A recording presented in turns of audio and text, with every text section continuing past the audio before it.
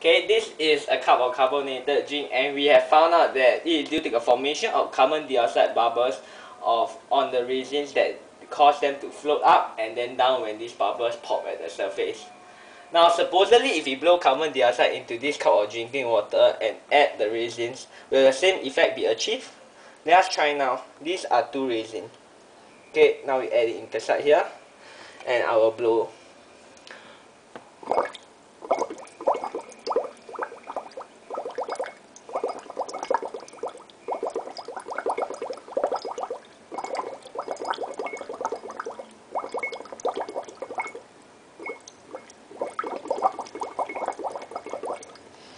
Hey, the bubbles don't float up.